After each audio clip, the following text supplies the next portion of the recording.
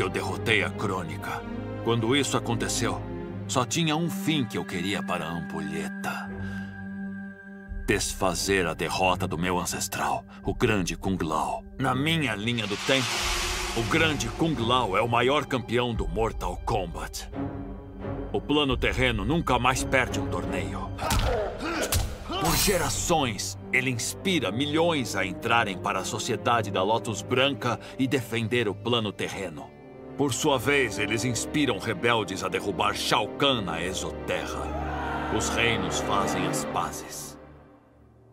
Até que, inevitavelmente, um inimigo mais poderoso surge. E encontra o plano terreno protegido por Kung Lao, o imortal mestre do tempo e guerreiro supremo. Supera essa, Liu Kang.